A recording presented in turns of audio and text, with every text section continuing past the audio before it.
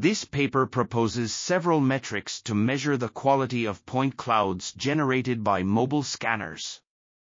It compares these metrics to those of survey-grade laser scans, and finds that the mobile scanner point clouds are generally less accurate than the survey-grade ones.